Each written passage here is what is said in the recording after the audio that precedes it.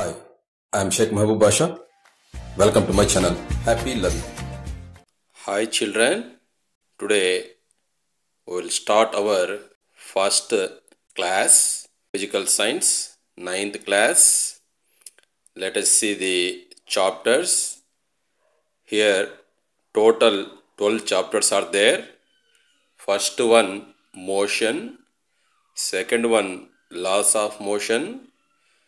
Third one is matter pure. Fourth chapter, atoms and molecules. Fifth chapter, what is inside atom. Sixth chapter, chemical reactions and equations. Seventh chapter, reflection of light on curved surfaces. Eighth chapter, gravitation.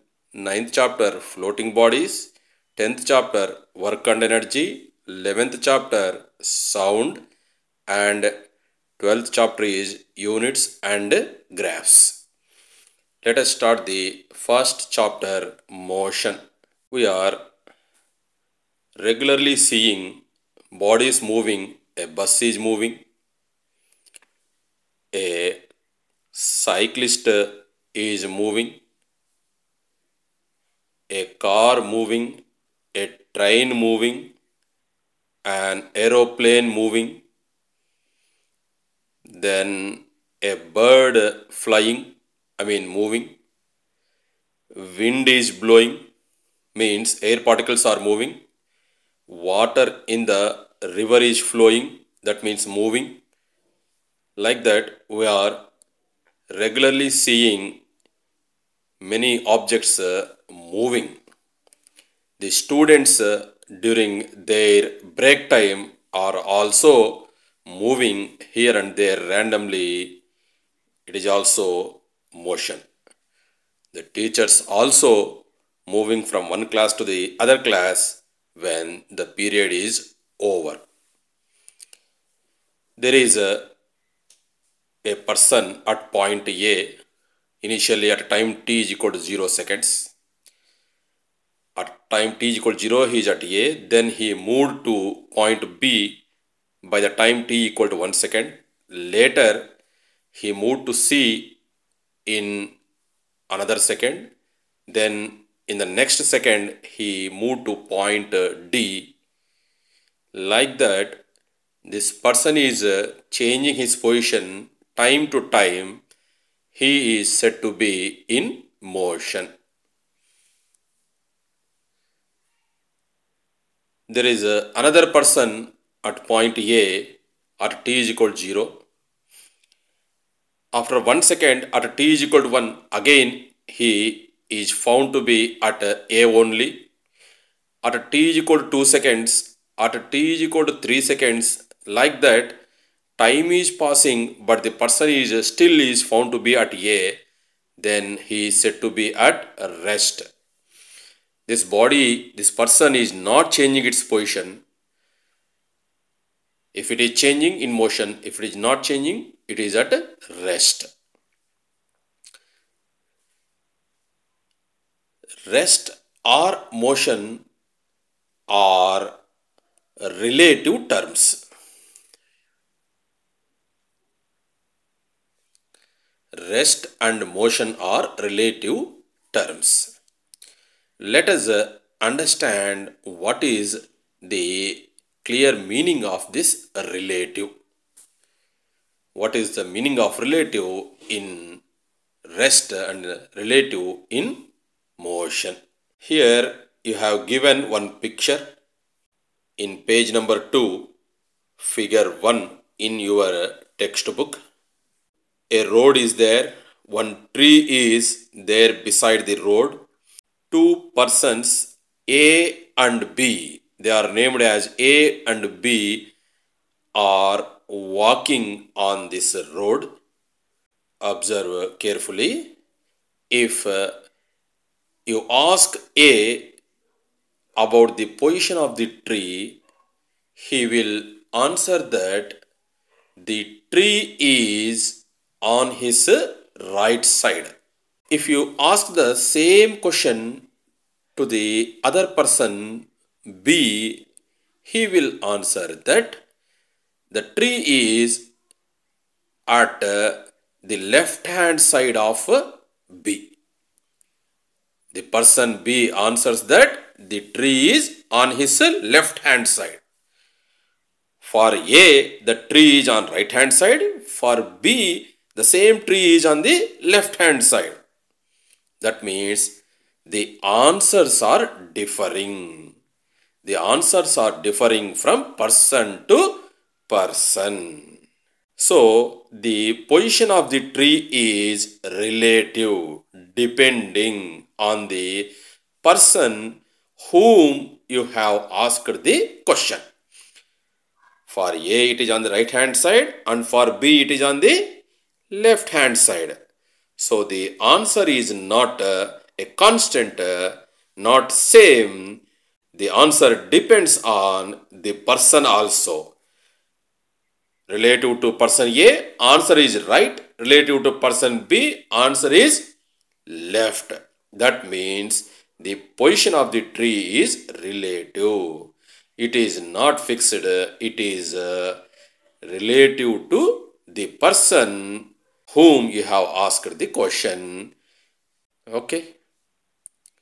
Now let us uh, take uh, the another picture, figure 2 in your textbook. This is a globe, our earth. Here four persons are given, A, B, C, D. Assume that uh, they are standing on the globe at different places. If uh, you ask a question to A about the position of uh, C, he will answer that Mr. C is on his uh, right hand side. If the same question is asked to B about the C, Mr. B answers that Mr. C is on his left hand side. Question is same, but the answer is uh, changing depending on to whom the question is asked. If you ask A, answer is right hand side. If you ask B, answer is left hand side. So it is clear that the answer is not only depending on C, it is also depending on whom you have asked. That is called relative. So relative to A, C is on left hand side and relative to B, C is on left hand side. Now consider this example. We have three lines A, B, C, D and E, F. Three lines of different length. When there is no CD and EF lines, you can't say that whether AB is shorter or longer. When AB alone is there, you can't say it is shorter or longer.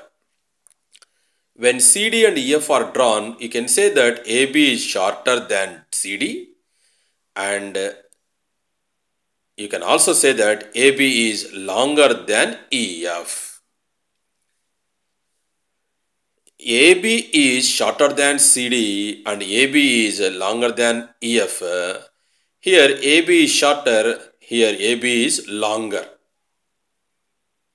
Here the answer is relative to CD.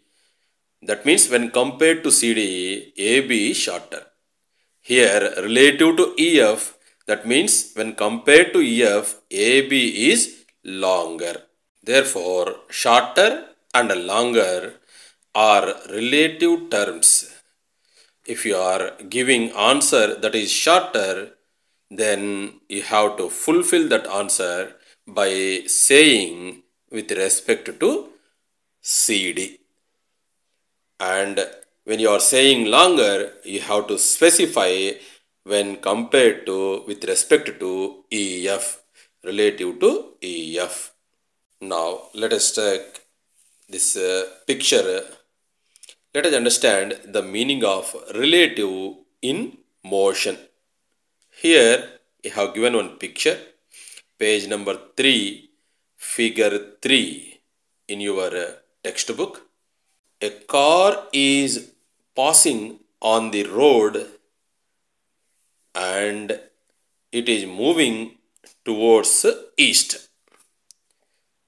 the arrow mark in the diagram represents the east direction and car is also moving in the same direction given by an arrow specified by an arrow therefore the car is said to be moving in the east direction there is one tree besides the road and two persons are standing on the footpath and maybe they are having some chit chat and their names are Somesh and Shrinu. Okay, understand the picture? Road, car is moving towards the east. There is one tree and there are two persons, Somesh and Shrinu, on the footpath. And there are two persons in the car. One is a driver, another is passenger. Okay. Now, Shrinu is asking what is the state of motion of the tree? What is the state of motion of the tree? Srinu is asking to Somesh. What is the state of motion of the tree? Somesh answered that it is at rest. How can he answer?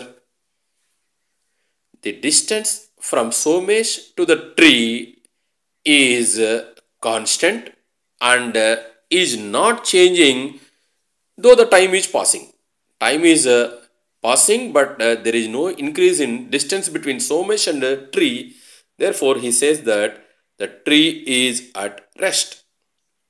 Obviously, the tree is uh, with respect to Somesh and his answer is absolutely correct. Now, Srinu asks Somesh another question. What is the state of motion of the car? What is the state of motion of the car? He means whether the car is moving or not. If at all moving, what is the direction of motion? So Srinu asked Somesh what is the state of motion of the car? And Somesh answered that it is moving due east. D-U-E, due. Due east means in that direction towards. So Somesh answered that the car is moving towards east.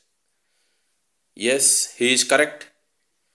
In the picture, one arrow is representing the east direction and the car is also moving in the same direction represented by another arrow. So the answer given by Somesh is correct. Then Srinu asked Somesh another question. What is the state of motion of the driver and the passenger in the car? Once again, what is the state of motion of the driver and the passenger in the car? So Somesh answers that they are also moving like the car. That means they are also moving towards east. Obviously, the motion of the passengers is same as the motion of the car because they are sitting in the car and moving along with the car. When the car is moving towards east, the passengers are also moving towards east along with the car. Then, another question by Srinu to Somesh. How do you decide that the car, the passenger and the driver are moving? Oh, this is a intelligent question. How do you decide that the car, the passenger and the driver are moving? The answer by the Somesh will be with respect to us, the position of the car, the passenger and the driver are changing, so they are in motion. With respect to us, with respect to us, few seconds earlier they were very close to us. Later they moved away. Now they are far away that means the distance between us and the car is changing with time. So they are in motion. Now, let us examine the conversation between the driver and the passenger. The driver asking the passenger what is the state of uh, the motion of the train? Driver asking the question to the passenger. The question is what is the state of motion of the train? The passenger will answer that the tree is moving due west. The tree is moving towards west. The car is moving towards east. So, for the passenger sitting inside the car, up the tree appears to be moving in the reverse direction of the car when compared to the car. So, the answer given by the passenger is the tree is moving due west. Now, the driver puts another question What is the state of motion of the two persons beside the road? So, the passenger sitting in the car, because the car is moving towards the east, he answers that the two persons are also moving due west. The two persons are also moving towards west. Then another question is raised by the driver What is my state of motion? So, driver asking the question What do you think of my state of motion? My means driver. So, the passenger has to answer about the state of motion of the driver. The passenger answers that you are at rest the driver in the car is at rest because both are sitting in the same car. The passenger is in the back seat and the driver is in his uh, driving seat. Time has passed, but he is not leaving the car. He is there in the driving seat. So, the answer given by the passenger is the driver is at rest. So the passenger says that the driver is at rest. Then the driver puts another question What is the state of motion of the car? What is the state of motion of the car? Now, this is a difficult question. Definitely, the passenger has to think of before he answers this question, and he can answer that we are rest. The car, the driver, and the passenger himself are rest, and the road, the trees, the persons moving on the footpath are all moving in the backward direction, that is, in the west direction, and the car, the passenger, the driver are at rest. So, for the persons inside the car, they appears to be at rest remaining the objects outside the car are moving in the opposite direction. So, with these examples, we understood that whether the bodies are at rest or moving, the rest are moving are relative terms. The left, right, top, bottom, the left, right, top, bottom, these are all relative terms rest and motion are also relative terms. The same object may be at rest for one person and the same object may be in motion for another person. Like uh, for the person standing on the footpath feels that the tree is at rest, but the person sitting in the moving car feels that the tree is moving in the reverse direction. Like that, the motion is relative. Tomorrow we'll take a next topic. Till now you read this textbook. Raise your doubts. You can put your doubts in my whatsapp. So thank you. Take care